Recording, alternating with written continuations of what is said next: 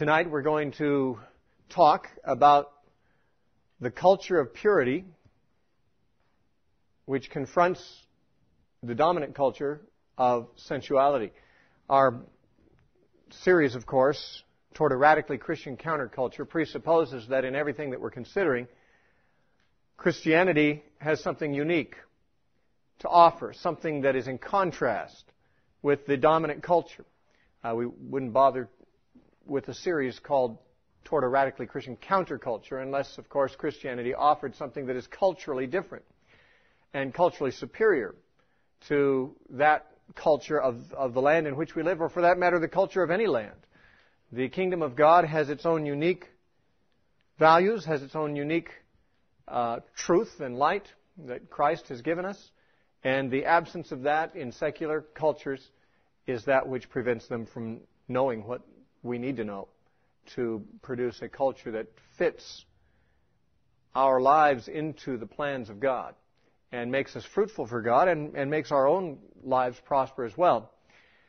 Now, in this series, we've been we've been giving labels. I've been giving labels to uh, different aspects of the dominant culture in which we live, and to the contrasting aspects of the Christian's culture, if there were such a thing. Sadly, there is not, as far as I know, in this country, a radically Christian counterculture in the terms that we're discussing tonight, and that is a culture of purity confronting the dominant culture of sensuality. I wasn't quite sure which word to use to describe the dominant culture. Sensuality works. There were so many other words came to mind. Um, self-indulgence, lust, and a whole bunch of other things lewdness.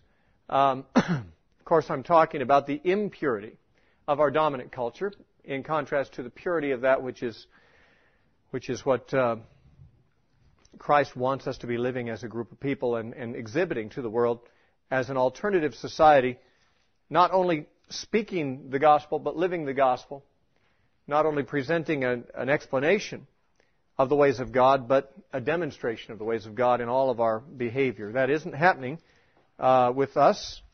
Uh, and I don't mean that to implicate anyone here more than myself. Uh, we simply do not find that the Christian community in any place I've ever lived has adopted everything that Jesus said to do. And uh, I'm not such an idealist as to think that by teaching a few lectures to a small group like this, we're going to transform the world. But uh, it's got to start somewhere. Jesus said the kingdom of God is like a leaven that's put into a lump of dough. And uh, though leaven is a very little, a very small quantity of leaven is put into a lump of dough, it causes the whole lump to rise.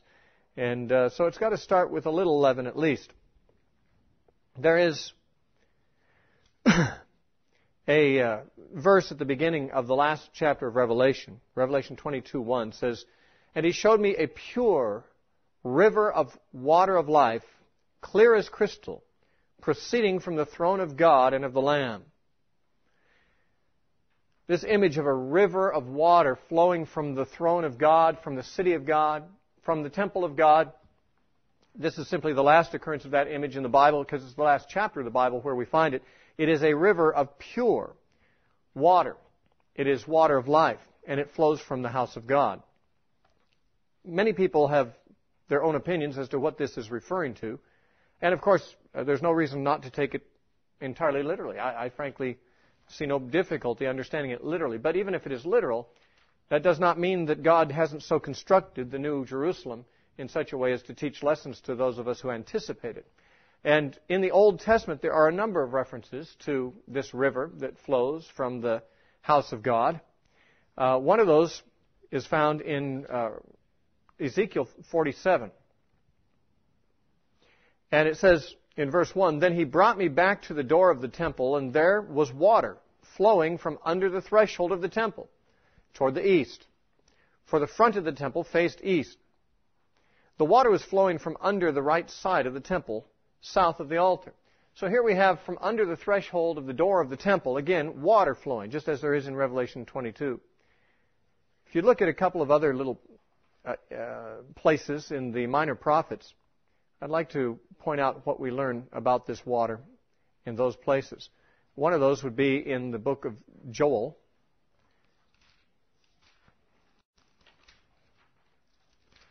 Which is not the easiest thing to find. It's just before Amos. Joel chapter 3. And it says in verse 18, in the closing paragraph, or next to the closing paragraph of the book of Joel, it says, And it will come to pass in that day that the mountains shall drip with new wine, the hills shall flow with milk. Now, by the way, this imagery sounds somewhat symbolic. I mean, hills dripping with milk and things like that. Milk usually comes from the udder of uh, dairy animals. It means, well, it's just like when God told uh, Moses the land of uh, land of promise was a land flowing with milk and honey. No doubt it meant there was much fruit trees for the bees to make a lot of honey from, and, and a lot of grazing land for the cows, so you could produce a lot of milk. But it wasn't oozing from the ground, for example. And here we have similar imagery. The mountains will drip with new wine the hills shall flow with milk, and all the brooks of Judah shall be flooded with water. Then it says, A fountain shall flow from the house of the Lord and water the valley of the acacias. Now it's rather interesting that it says a river will flow from the, valley, from the house of the Lord and water the valley of the acacias, since the house of the Lord presumably is pictured as being in Jerusalem. And the valley of the acacias was actually across the Jordan River in the land of Moab, according to the book of Joshua. And yet we have a river flowing across another river, the Jordan River. Now, rivers don't really cross each other like highways do. You, you, can have an intersection of roads, but you can't have that kind of an intersection of rivers where they actually both keep flowing the same direction as they cross each other. It's, it's not physically possible unless God works some kind of a new miracle uh, in the future that we've never seen, which is, of course, He could do. But this raises questions as to whether this river in, in question is really considered to be a literal one. If you look at Zechariah, nearly at the end of the Old Testament, just before the last book, and in the closing chapter of Zechariah, Zechariah 14, it's interesting how in all these cases, the four books that mention this river mention them at the end, uh, at the end of the book. And here we have in Zechariah 14, verse 8, and in that day it shall be that living waters will flow from Jerusalem, half of them toward the eastern sea and half of them toward the western sea. In both summer and winter it shall occur. Now here uh, we have that same idea, a river flowing from Jerusalem, but this is the only place in the Old Testament that calls it living waters. That's the term we find in uh, Revelation also. It says, I, He showed me a pure river of water of life, uh, which is a synonym for living water. But I want to show you one other verse, and then we're going to get, uh, I'll tie this into our topic. In John chapter 7, John chapter 7, verses 37 through 39. On the last day, the great day of the feast, Jesus stood and cried out, saying, If anyone thirsts, let him come to me and drink. He who believes in me, as the scripture has said, out of his heart will flow rivers of living water. But this he spoke concerning the Spirit, whom those believing in him would receive, for this Holy Spirit was not yet given because Jesus was not yet glorified. Now, what's interesting about this statement of Jesus, and, and Bible scholars have, have really puzzled over it a great deal, is that Jesus said, He who believes in me, as the Scripture has said. Now, Scripture certainly must mean Old Testament Scripture, since at the time that Jesus said this, no New Testament books had been written yet. And he's talking about Scriptures that have already said what he's saying. So, it must be the Old Testament Scriptures to which he refers here. He said, As the Scripture has said, out of his, that is the believer's heart, will flow rivers of living water. Now, what puzzles scholars is the issue of what Scripture is Jesus referring back to.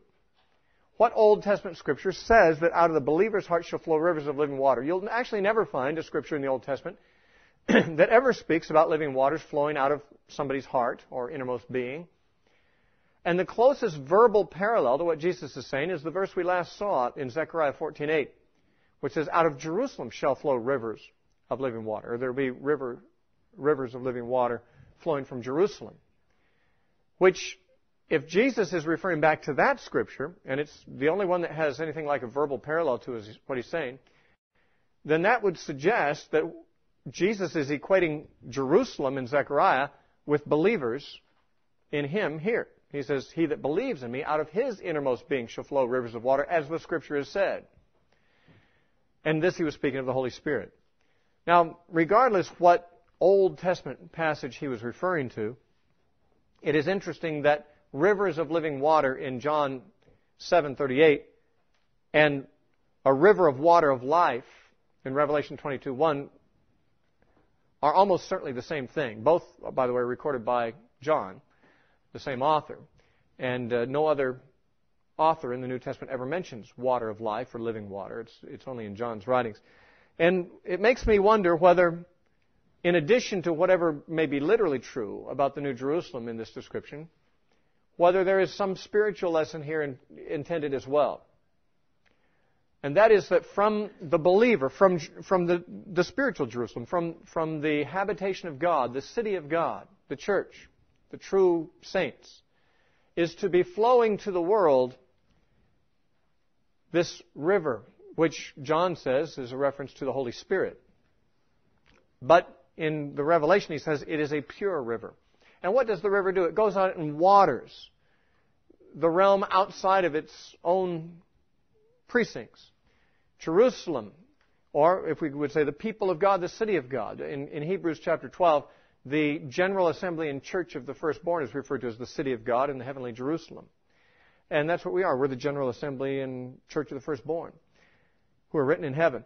From us, there is to be flowing to the world this life, this, this torrent of the life of the Holy Spirit, which is described as a pure river. And therefore, what is to be coming forth from the church to water the world is characterized by purity. Now, God knows, and so do we, how much the world lacks in purity. Our own culture has become considerably less pure in our lifetimes. And uh, I suppose it never was. I don't suppose there ever was a culture on the planet Earth that was entirely pure. Perhaps the community of the disciples in Jerusalem in the book of Acts in the early days may have approximated it closer than most. But that was a counterculture. That was not the culture of the city of Jerusalem. That was the culture of a, a, a remnant within Jerusalem. And wherever there are Christians, there should be a standard raised to the surrounding culture of purity. It is to be a refreshing thing when you meet a group of people who are pure, and, and you don't find among them the, the, the, the gross uh, gaudiness and sensuality and showiness and, and boastfulness and so forth that you'd normally find in the, in, the, in the culture and in the church. It's a refreshing thing. It's something for which, although they may not know it, I think the Bible implies the world is thirsting for. And the church is supposed to be the container from which it is poured. But the church has been compromised like the rest of the world and has become sensual, has become impure. I'd like to uh, read something from a man who's been my favorite author for the past 25 years, A.W. Tozer. In fact, I, I, don't read from him every time. In fact, I seldom do. But I might even read from two different things he's written in this book. Uh, this is a compilation of some of the best of his works. This uh, editorial that Tozer wrote is called The Erotic versus the Spiritual. And he uh, assesses, some of you have read it, I'm sure, he assesses the fascination with sexual impurity that's in our culture. And, and he points out what I would point out here too, and that is that it has invaded the church. And the church is also fascinated with impurity and, uh, and illicit sex. I'd just like to read a few of the paragraphs here, if I might, if you'll indulge me. Dr. Tozer writes, The period in which we now live may well go down in history as the erotic age sex love has been elevated into a cult. Eros, which is, of course, lust, has more worshippers among civilized men today than any other god. For millions, the erotic has completely displaced the spiritual. How the world got into this state is not difficult to trace. Contributing factors are the phonograph and radio. He didn't know about computer games and videos yet which can spread a love song from coast to coast within a matter of days. The motion picture and television, which enable the whole population to feast their eyes on sensuous women and amorous young men locked in passionate embrace, and this in the living rooms of Christian homes and before the eyes of innocent children. Shorter working hours and a multiplicity of mechanical gadgets with resultant increased leisure for everyone. Add to these the scores of shrewdly contrived advertising campaigns with, which make sex the not too slyly concealed bait to attract buyers to almost every imaginable product. The degraded columnists who have consecrated their lives to the task of publicizing of soft, slinky nobodies with the faces of angels and the morals of alley cats. Conscienceless novelists who win a doubtful fame and grow rich at the inglorious chore of dredging up literary putridities from the sewers of their souls to provide entertainment for the masses. These tell us something of, about how Eros has achieved his triumph over the civilized world. Now, if this God would let us Christians alone, I, for one, would let his cult alone. The whole spongy, fetid mess will someday sink under its own weight and become excellent fuel for the fires of hell, a just recompense which is meet and it becomes us to feel compassion for those who have been caught up in its tragic collapse. Tears and silence might be better than words if things were slightly otherwise than they are. But the cult of Eros is seriously affecting the church. The pure religion of Christ that flows like a crystal river from the heart of God is being polluted by the unclean waters that trickle from behind the altars of abomination that appear on every high hill and under every green tree from New York to Los Angeles. The influence of the erotic spirit is felt almost everywhere in evangelical circles.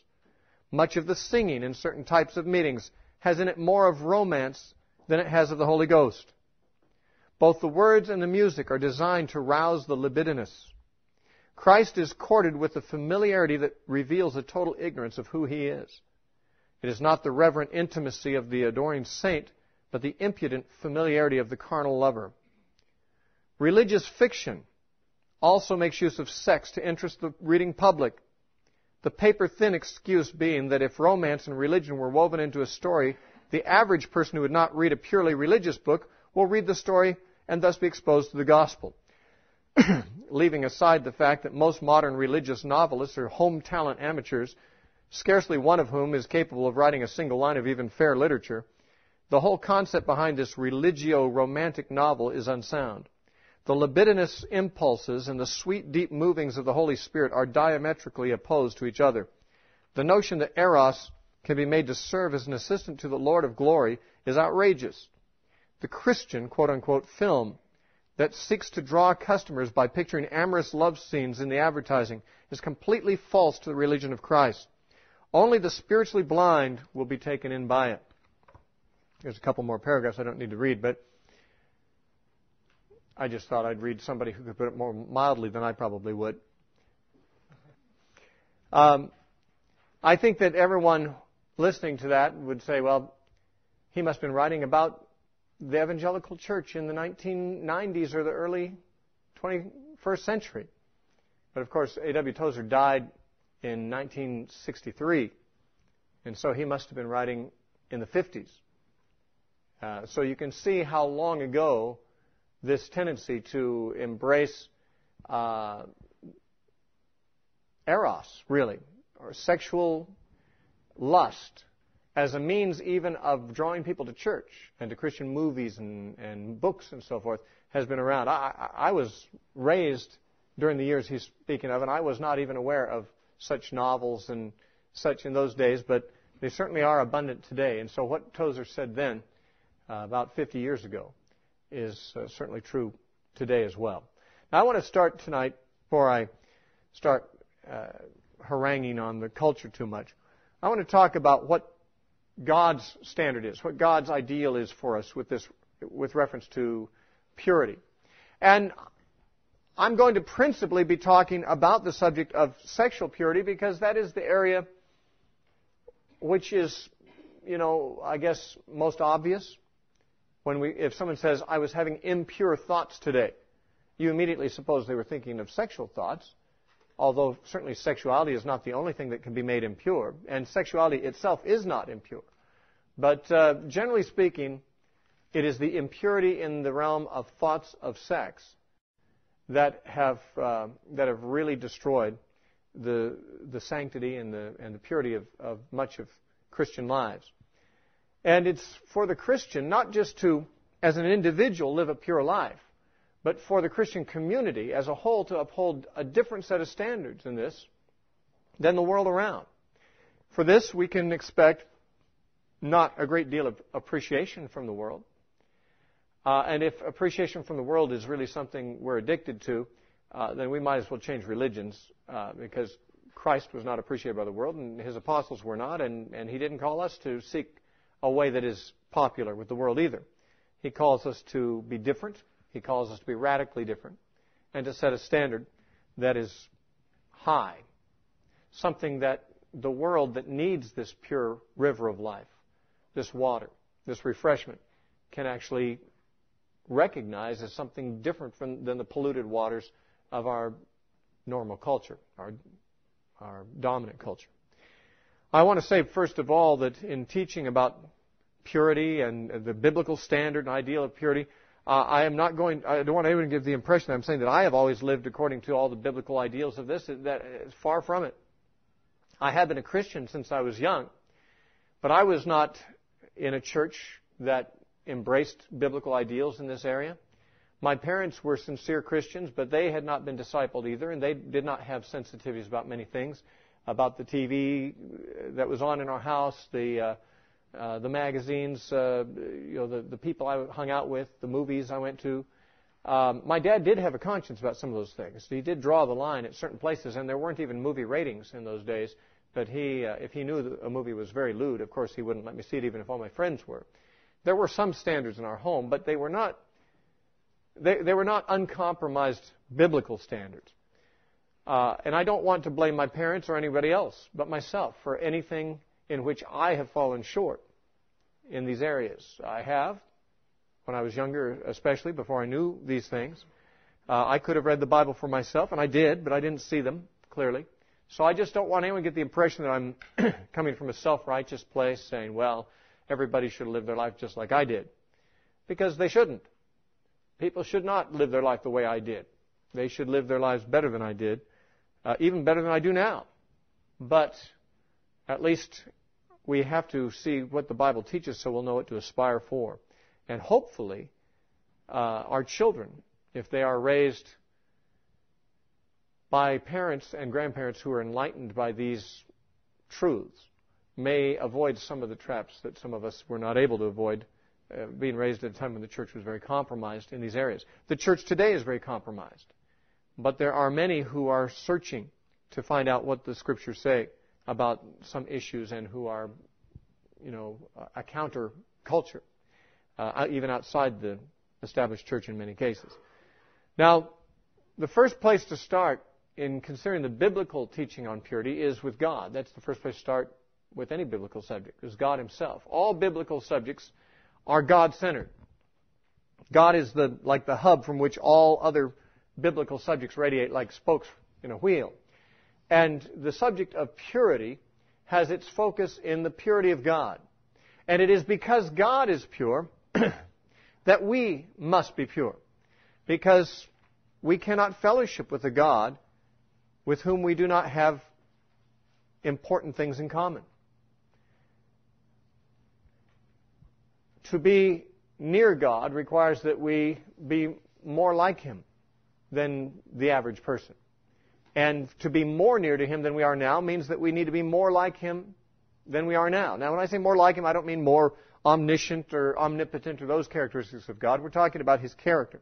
We're talking about His holiness and so forth. In 1 Peter chapter 1 and verse 15, it says, But as He who called you is holy, you also be holy in all your conduct.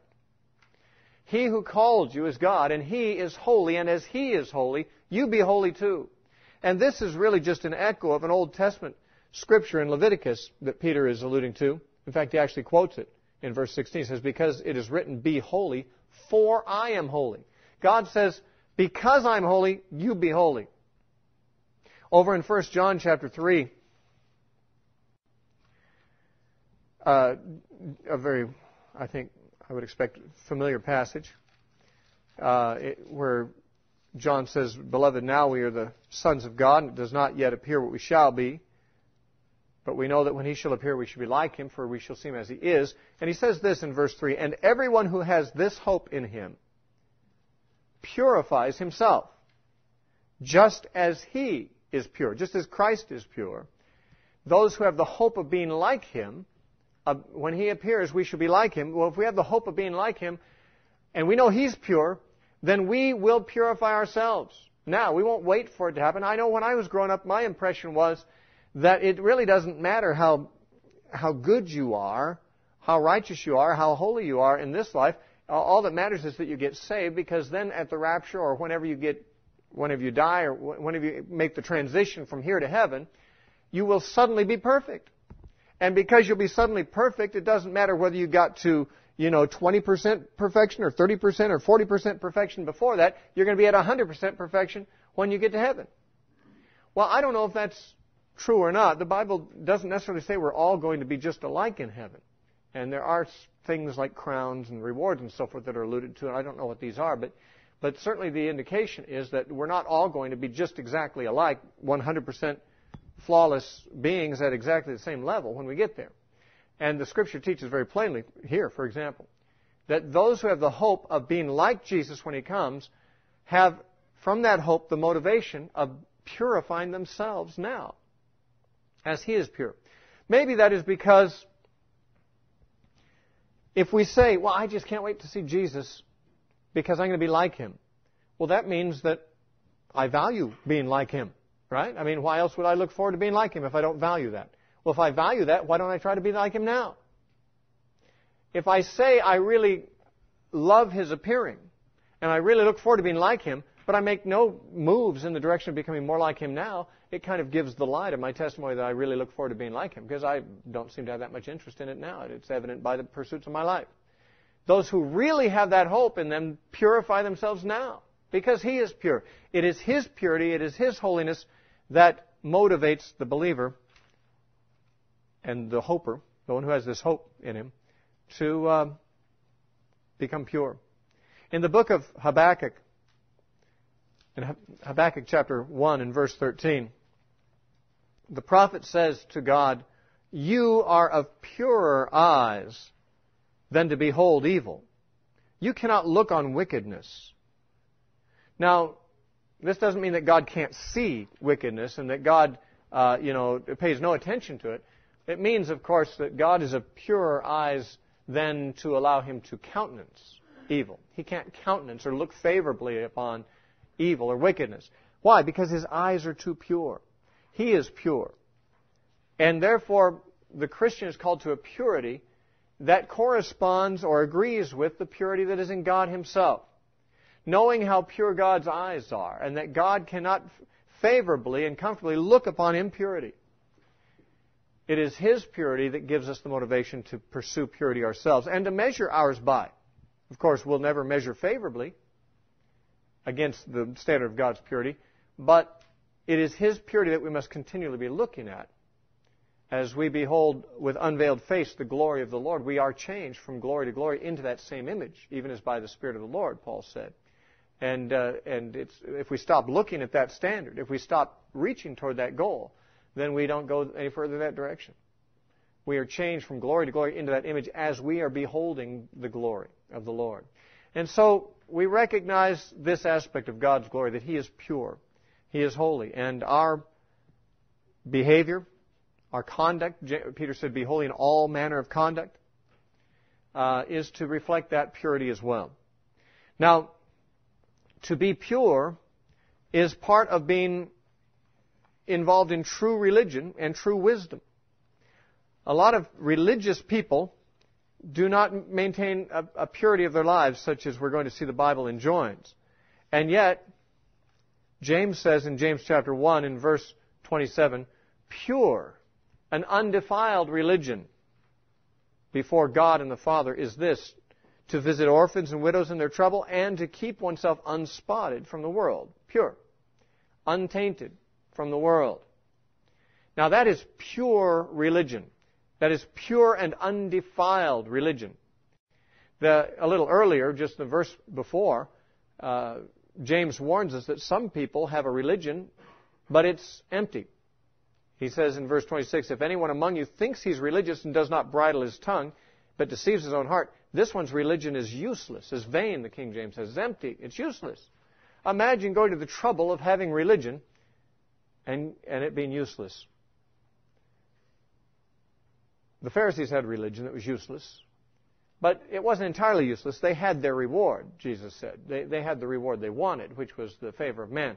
But uh, if you're going to not settle for the favor of man, and if you're looking to please God and to be like Him, then you're going to have to have a religion that isn't useless, and that is pure religion. It requires being unspotted, untainted, unpolluted from the world. Likewise, in James chapter 3, when James is contrasting the wisdom of the world and the wisdom of God, certainly categories that have to do with the difference between a worldly culture and the Christian counterculture. The wisdom that informs the worldly culture is a certain way. The wisdom that informs the godly counterculture is another way. And that wisdom is, it says in James 3:17, the wisdom that is from above is first pure. Now it's other things too, but it is first pure. Then peaceable, gentle, willing to yield, full of mercy and good fruits, without partiality, without hypocrisy. Now, that's the wisdom that informs a godly culture, a godly society, a godly community of believers. It is first of all, whatever else may be said about it, it is first and foremost pure, James said. That means it is unpolluted. And if we are to be a Christian community that is normative and radically biblical and Christian, we must seek this purity that makes up true religion and true wisdom. This comes not from mere external religiosity. The Pharisees sought to be pure. In fact, they had their rituals, which were called purification rituals. Purification. To the Pharisee, purification meant you don't touch unclean things. Un- an unclean thing might be a certain species of animal that was an unclean animal. It might be one's wife when she's having her menstrual period. It might mean his own father if his father died and he went to the funeral and, and came into contact with the dead body. Uh, there were certain things, contact with which a leper or something would make you unclean. And the Pharisees were very cautious about contracting that kind of defilement. They wanted to be pure. And if a person was made unclean, they had to end that period of uncleanness by purification, rituals. And so the Pharisees interpreted purity as something that was external, as something that was ritualistic. And Jesus, by contrast, when he gave the Beatitudes, said in Matthew 5 8, Blessed are the pure in heart, for they shall see God. To be pure in heart enables you to have a vision of God. Someday, you certainly will not see Him without purity of heart, the Bible says. The, the pure in heart will see God. This is, Jesus' statement was taken from the Old Testament, uh, not verbatim, but very close, from Psalm 24 and verse 4, where David asked the question, who may ascend to the hill of the Lord? And who may stand in his holy place? Certainly that is something every true Christian would, would crave to know. Uh, you know, uh, who has a backstage pass into heaven where we can stand in God's holy place and, and talk with Him personally? Uh, how, who qualifies for that? That's what David was wondering.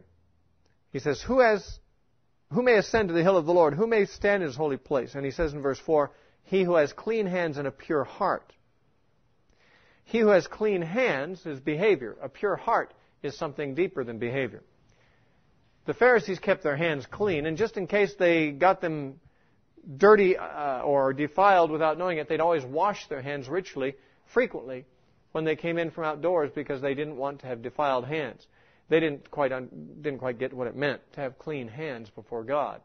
Because God said in Isaiah chapter 1 that his complaint against Israel, though they offered many sacrifices and kept their holy days, was he said, Your hands are polluted with blood. Now, they didn't have real blood on their hands. It was because they were they were murderers, he said. And, and, and as far as God is concerned, their hands were not clean.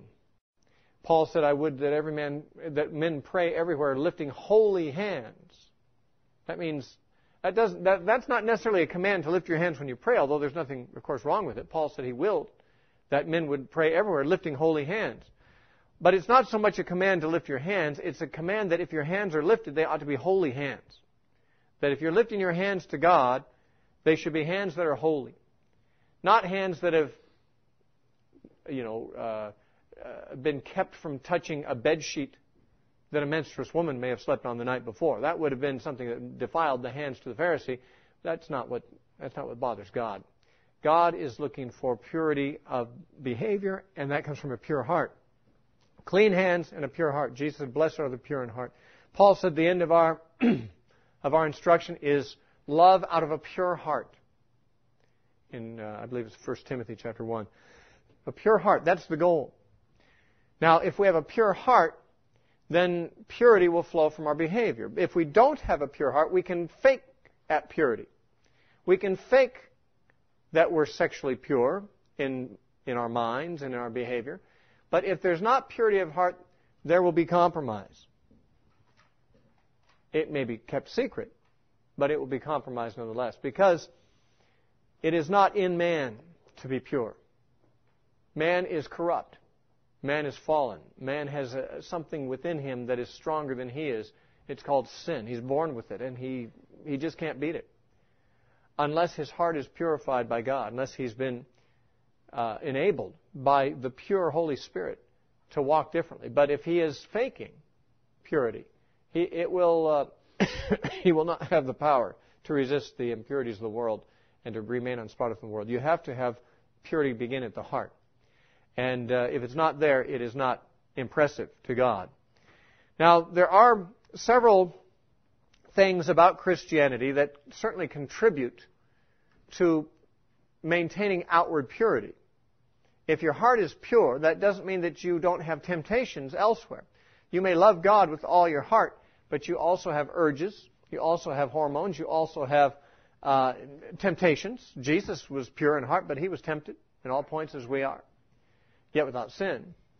But uh, there are ways in which a person who is pure in heart and who seeks to purify himself even as he is pure uh, behaves differently and has these things as foundations to maintain a purer walk than people outside of, of Christ. One of those things is that the Christian is to have a more biblical view about sex. And this comes from a more elevated view of marriage and sex than the world has. The word sex, I mean, some people even cringe when they hear the word spoken in church, sex, as if there's something innately dirty about it. And we forget that God is the one who invented sex, and He did so before the fall. And He commanded people to use it before the fall. Uh, when God designed the first man, He made him naked. And He built everything about man purposefully. When He made the woman to correspond to the man, He made her purposefully too. And that included the parts of them that were made for reproduction the parts of them that made them sexual beings. He could have made them as amoebas that don't need a partner and they could just split apart by mitosis, but that's not the way God chose to do it. God chose to make man and woman sexual. When he had done it, he said, That's good. That's very good. And he told them, Use it. Be fruitful. Multiply. Fill the earth. Sex is not a dirty thing to God. Abuse of sex is.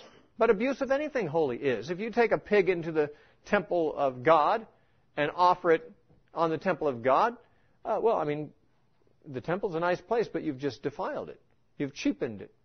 You've, you've done something very offensive to God and to all godly minded people. And sex is something that God made for a very sacred purpose. The sacred purpose of working together with God in the procreation of more eternal beings. And uh, God made a marriage institution to be the, the place for that. And God holds marriage in very high esteem. It's a very sacred thing. It says in Hebrews chapter 13 verse 4, marriage is honorable in all, and the bed is undefiled. That means sex within marriage is not a defiling thing. It's pure. It's not defiled. It's pure in marriage. But it goes on to say in the same verse, but fornicators and whoremongers, God will judge. So, sex is a very pure thing in the context that God has ordained it. Outside of that, it's something that God must judge. But Christians should have an elevated view of sex, and that is what makes us disgusted whenever it is cheapened. At least that should make us disgusted.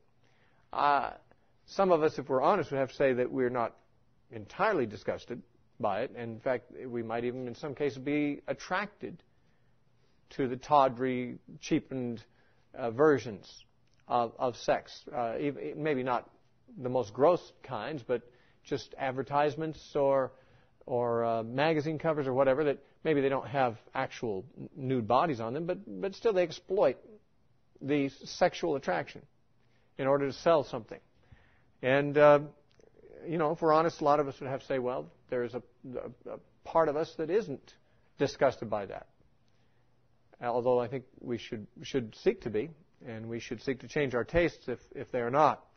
Uh, Paul told Timothy that the attitude of the Christian toward the opposite sex, that is, those members of the opposite sex to whom you are not married, should be a pure one. In uh, 1 Timothy 5 2, Paul says, Treat older women as mothers and younger women as sisters with all purity. Paul was writing to a young man, and he said, Listen, you are overseeing a religious community there are old men and old women, young men and young women. And actually, in verses 1 and 2, he addresses how Timothy should treat each of these different groups. And the last group he mentions is young women. Treat them the way you treat a sister, with all purity. Now, if every Christian young man would treat every Christian young woman the way he treats his sisters, it wouldn't always be good, but it would at least be sexually pure. Uh, and it is that, that aspect, the sexual purity of it, that Paul is advocating here. And of course, likewise, if every young woman would treat every young man the way she would treat a, a, a brother, a biological brother. Likewise, that, that's a very high degree of sexual purity in most cases. Now, if you find somebody who, uh, you know, a brother and sister who aren't sexually pure toward each other, then you've got something that's really twisted and perverted. Paul assumed at least this much, even in a corrupt world full of you know, sexual perversion, he assumed at least he could say, treat them like your sister, and that would mean pure. He did not assume there'd be uh, incest and so forth.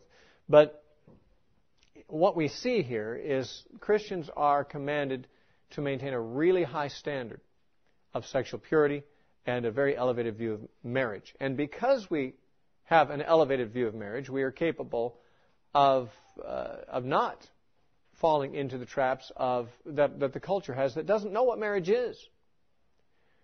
I just heard today on the radio there's some man in Maine who's gone to court trying to get the court to acknowledge his marriage to his dog. Now, it, was, it had to happen. I mean, they're trying to legalize homosexual marriage. I mean, the, the culture doesn't know what marriage is. They don't know what sex is for. They don't know what marriage is. And so the most perverse and twisted and, and uh, you know, crazy things uh, our culture is actually suggesting. The court didn't allow it because they didn't let animals in the courtroom except seeing eye dogs. But um, but the fact is, I mean, it's it's it sounds funny to us, but it's really not funny at all. I mean, that a man would seriously suggest this shows how little our culture knows about marriage and sex. Yet Christians are alone the ones who know what God made marriage for and what sex is for, and we are the ones who should have a very pure and wholesome and upfront ability to discuss those matters with our culture, to confront the culture about this, to show the culture that they, you know, everybody knows that sex is a drive that people have, and a very strong drive for many people. But most people don't know why they have it, what it's for.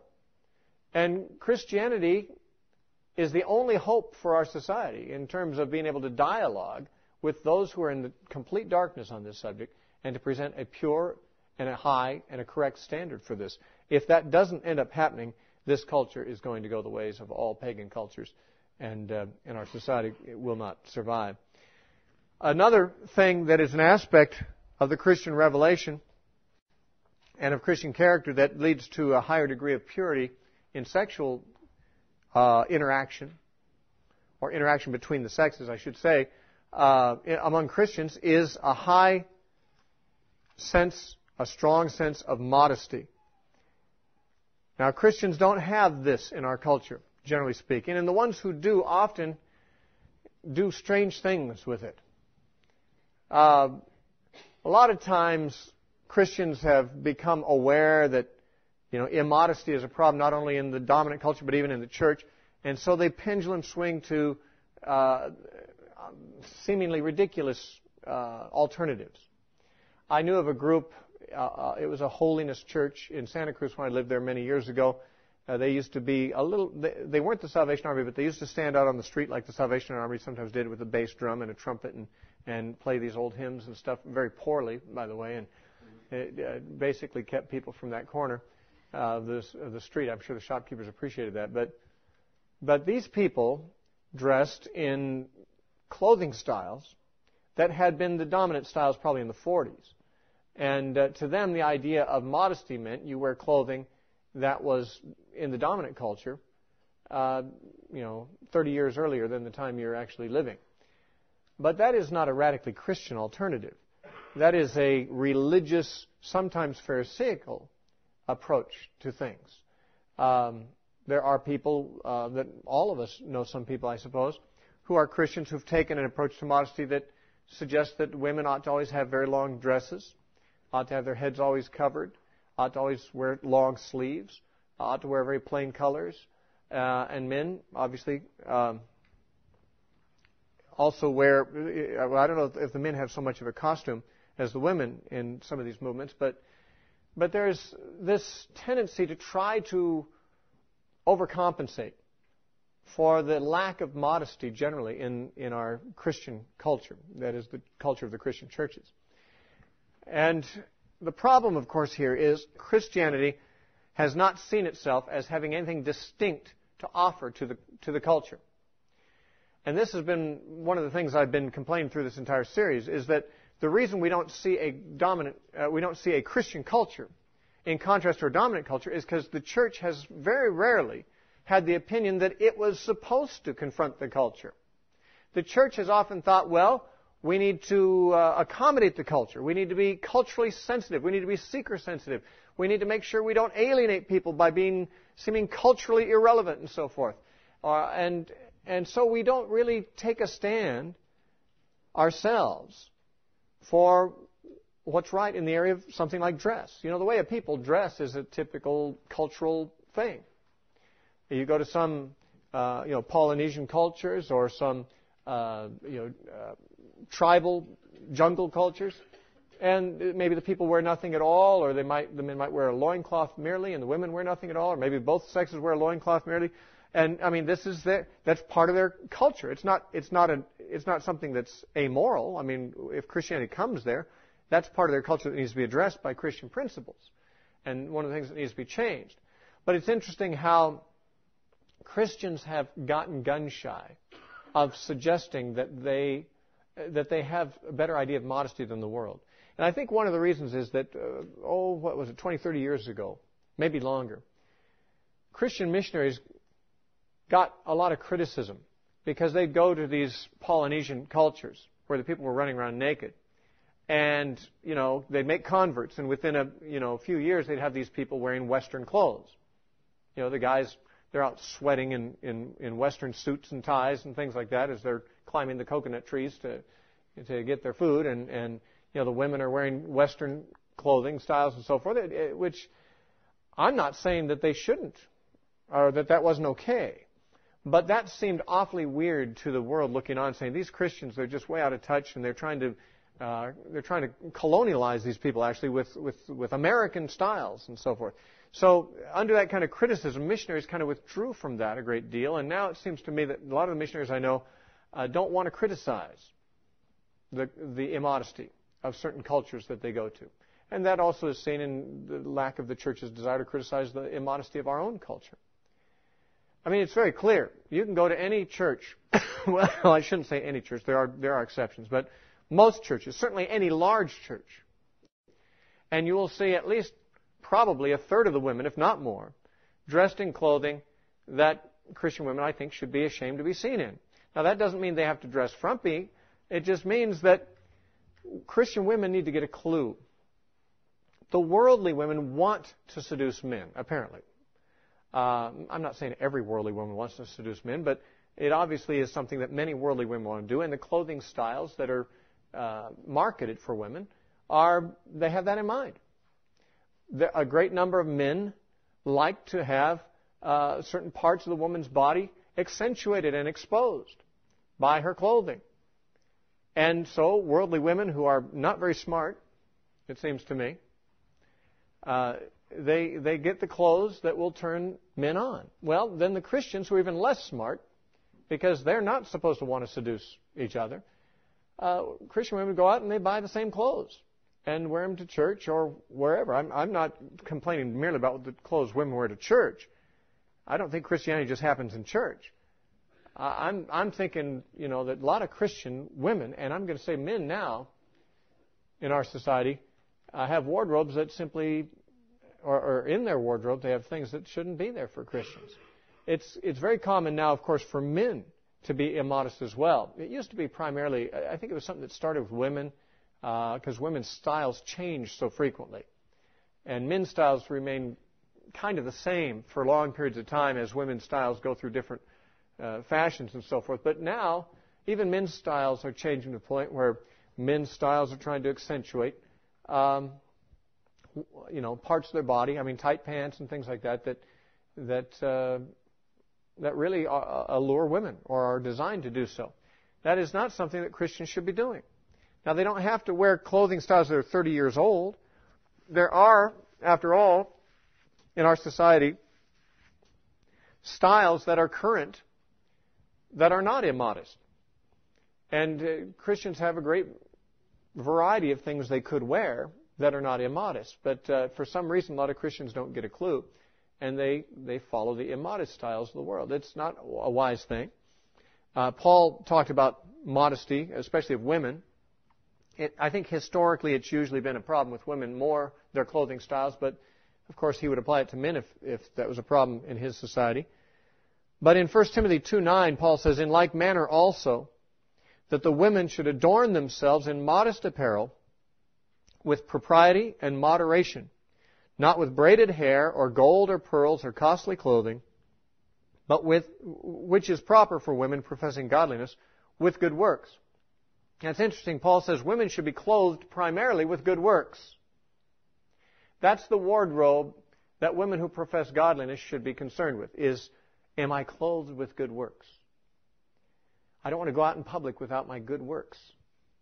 Now, a lot of women don't want to go out in public until they've got their makeup on or until they've got, you know, fashionable clothes on or, or their hair done right.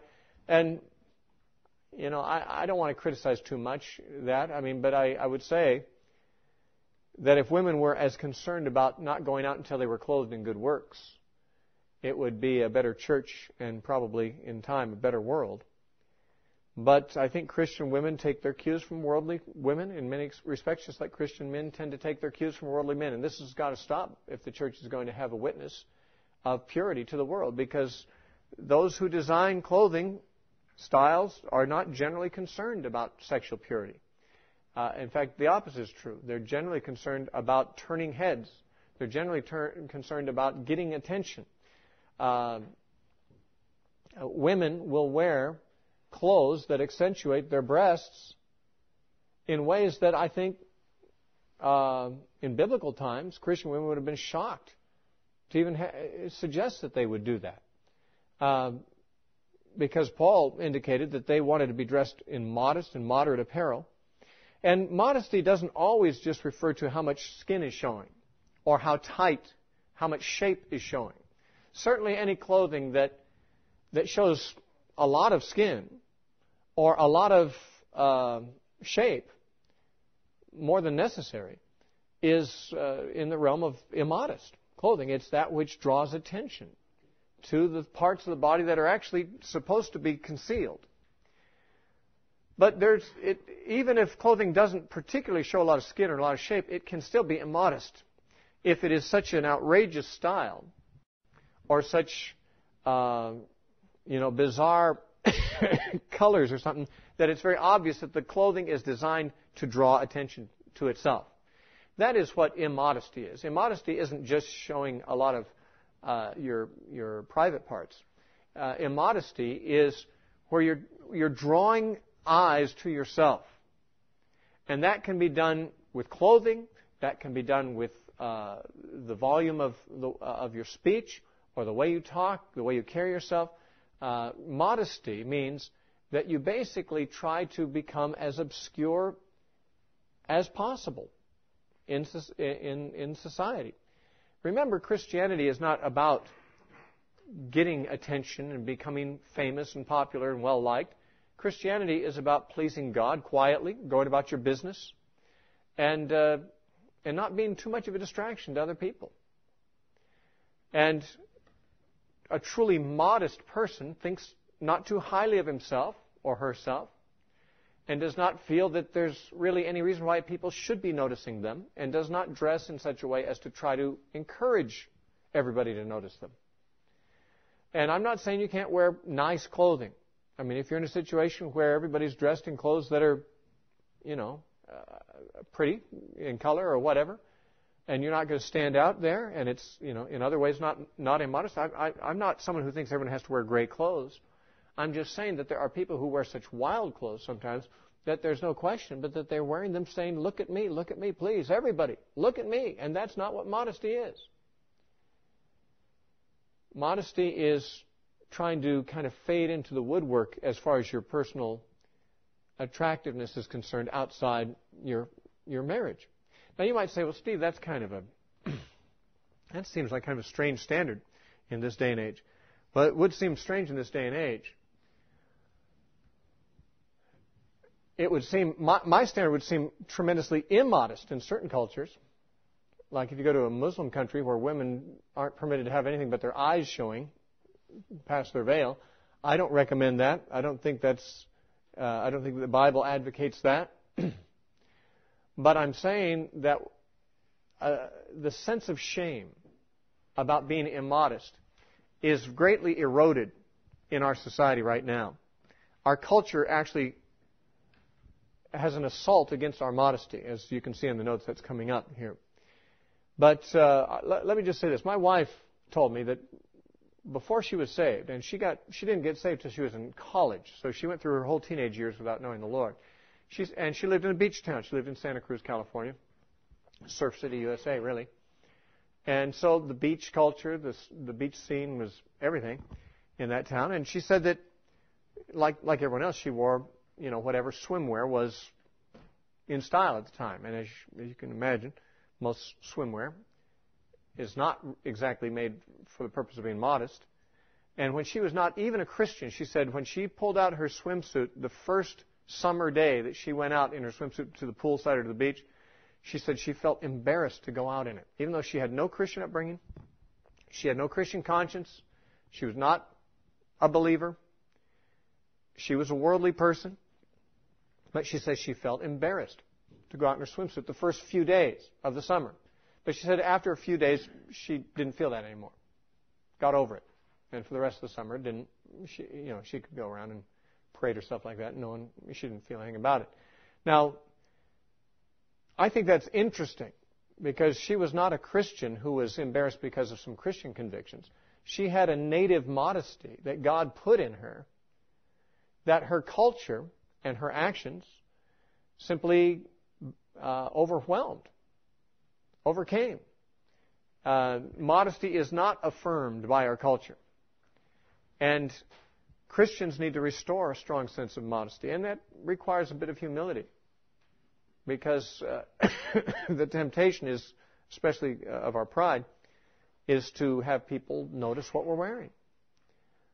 And I'm not saying it's wrong if people do notice what you're wearing. It's, the question is, is a matter of the heart.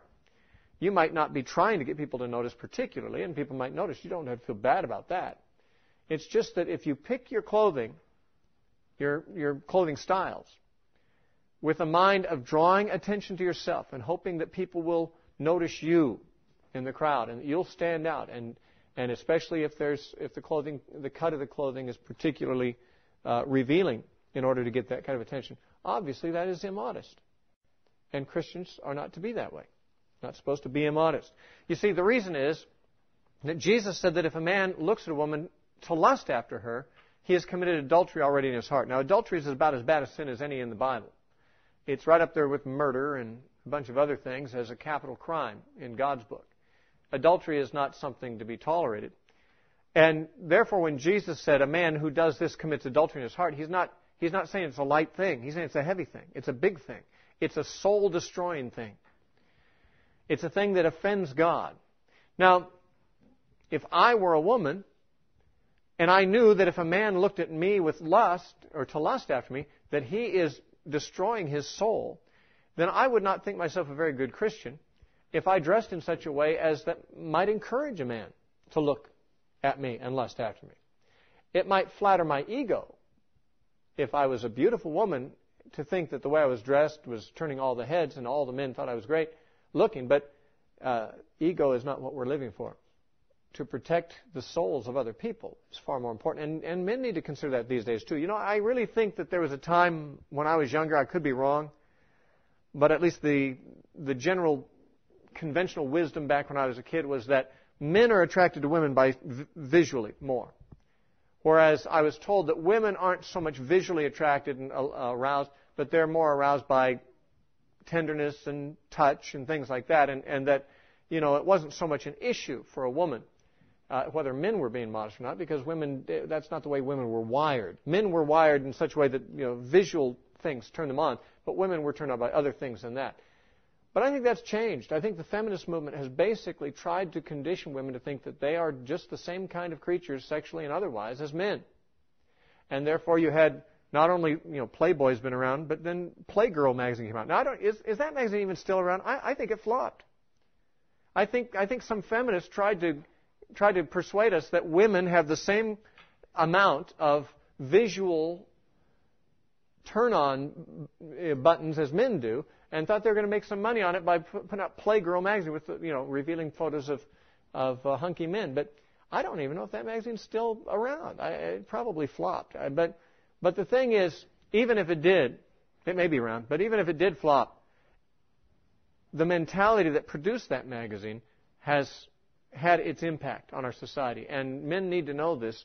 That women, I am hearing more and more, actually do, uh, you know, stare at, at men's bodies, and uh, men need to make sure they don't wear revealing clothing. I don't know that women always did that. I'm not sure, but uh, but they do now, and they've been conditioned to do that. so both men and women have to be concerned about modesty uh, issues. And then, of course, there's another principal feature of the Christian life that works favorably toward a higher degree of purity, in Christians than non Christians, and that is that we are given the resources by God to control our impulses, and we are required to do so. And we endeavor to do so if we're Christians. Now, some Christians don't control enough of their impulses, but we all know that we're not just free to do whatever it is that we get a, a hankering to do. Now, just because I got an urge doesn't mean that I got to fulfill it. Just because I got an itch doesn't mean I have to scratch it.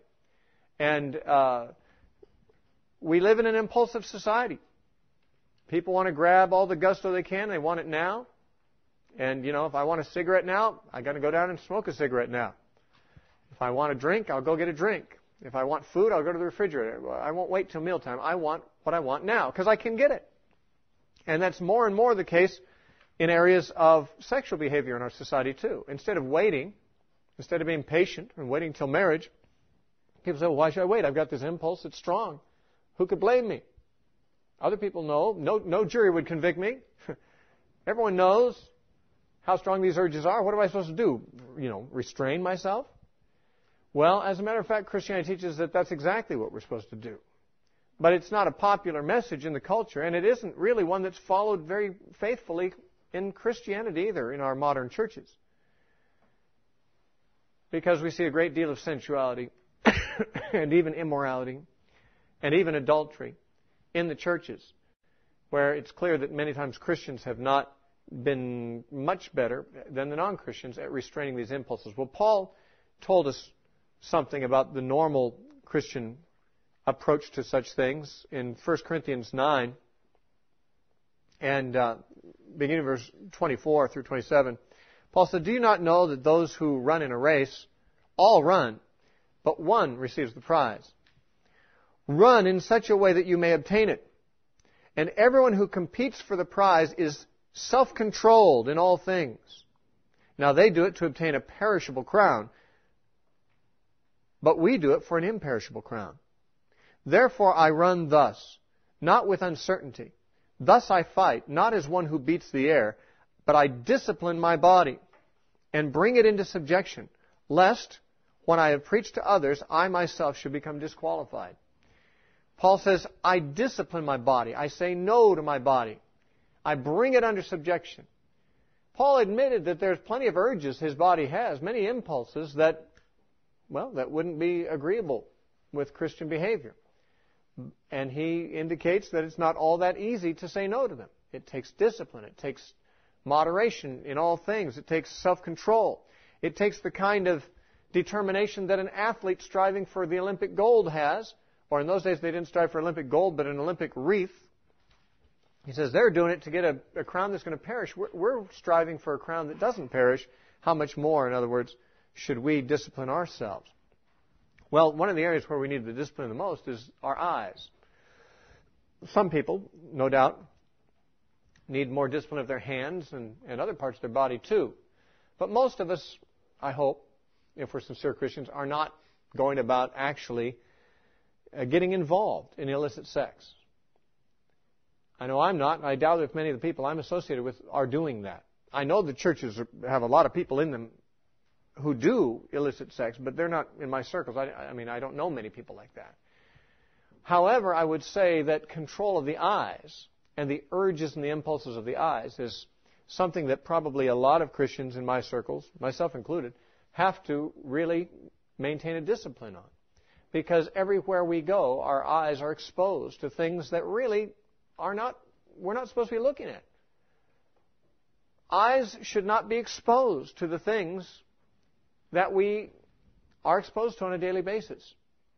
You know, in the Bible, the Bible has some chapters that talk about the need not to, uh, well, it talks, it basically talks about moral purity, and, and certain sins that are forbidden are uncovering the nakedness of your sister, uncovering the nakedness of your uh, father's wife, uncovering the nakedness of your father's sister, and so forth. And A bunch of different categories of relatives. Uh, you're not supposed to uncover the nakedness. I didn't say anything about sleeping with them, but of course that's implied too. The issue was you shouldn't get so far as to see them naked, much less sleep with them. I'll tell you what, if you don't see them naked, you probably aren't going to get around to sleeping with them. Although, I did hear of one pastor who boasted that he'd never seen his wife's arms above the elbows, uh, because that was the standard of modesty that they uh, recommended in their church. Uh, they didn't have any children, so I don't know, you know, what whether whether I don't know a man who's been married to a woman and doesn't hasn't seen her arms above the elbows. maybe they don't have sexual relations. I don't know. Um, I guess Jacob and Leah had sexual relations without seeing each other until the next morning. But the fact of the matter is, illicit sex doesn't usually take place where people are careful not to see each other unclothed. And yet we see people unclothed everywhere we go. We see them not, not this time of year, but we see them walking down the street in certain cases. We see them plastered on billboards and magazine covers. Uh, if you turn on the TV, you're going to see them there. That's a fact. Uh, you're rarely going to find a video that doesn't contain them. And these are all things that really are not wholesome for Christian eyes to be looking at. And it's very hard even to divert your eyes away from them sometimes. I remember when I was single, living in Southern California, I, I was driving from a, a, Christian ministry house where I lived to uh, another house 40 miles away where I held a weekly Bible study.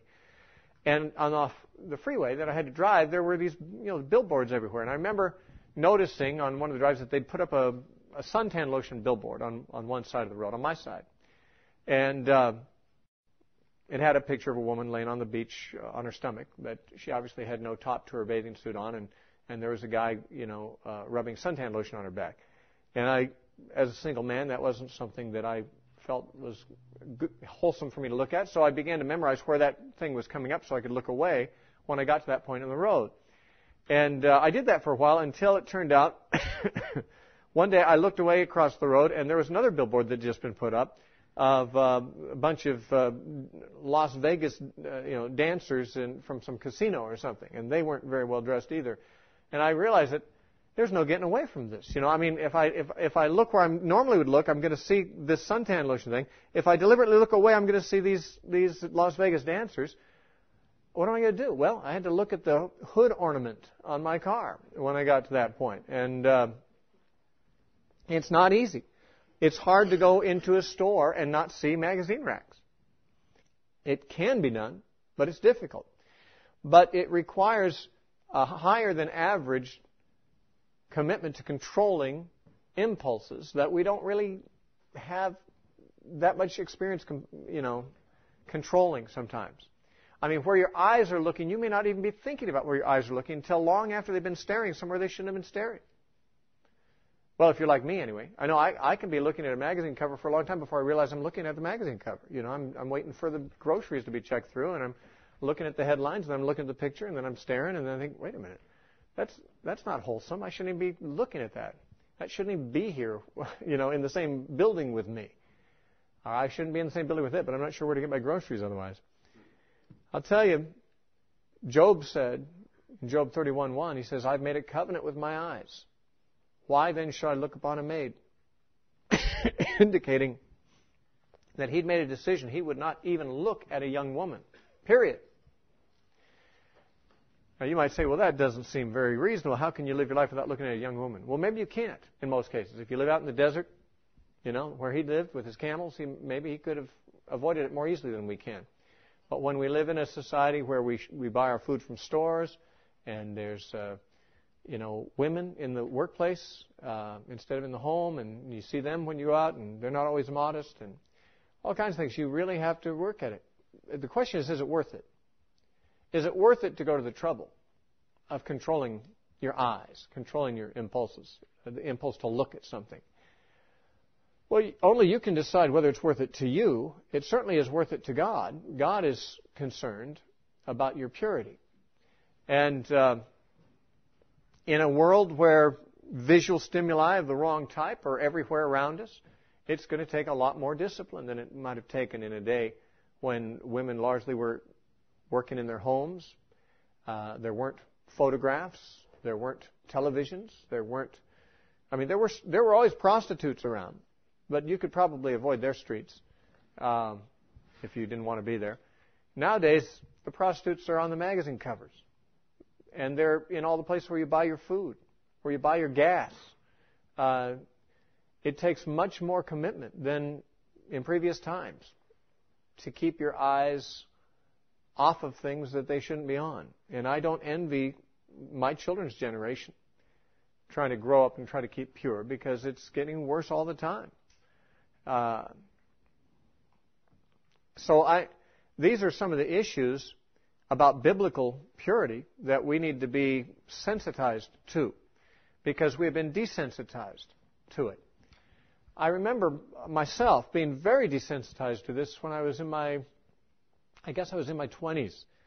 I lived in Southern California, um, kind of a party environment. I was a Christian. I was a good Christian. I mean, good is good as any around. You know, I mean, most people thought I was a superior Christian in those days. Uh, I, I wouldn't say so looking back. But I, I was trying harder than a lot of people were, and I was more serious about following the Lord than a lot of people I knew in the church were. But, but I still, you know, I'd, I'd watch some TV at home. I was living with my parents. I'd, uh, some, some of that time, I'd, you know, they had a TV on. I'd watch some of that. I'd, I'd go to movies with some of my Christian friends, some of which I can't imagine how we as Christians ever allowed ourselves to see them. But um, I was just desensitized to it. I just figured, well, you just can't pretend like the world isn't there. You got to, I mean, you just got to keep your mind pure and and uh, you know, you just got to see some of this stuff. And I suppose there comes a time where that is unavoidable, where you, for all your best efforts, you can't avoid seeing something that's a temptation that you would rather not see. But when we become so desensitized to it that we're not trying to avoid it anymore, then we've really we've fallen. We've fallen far and we've lost the edge to our holiness that we need if we're going to be a witness along these lines to the world.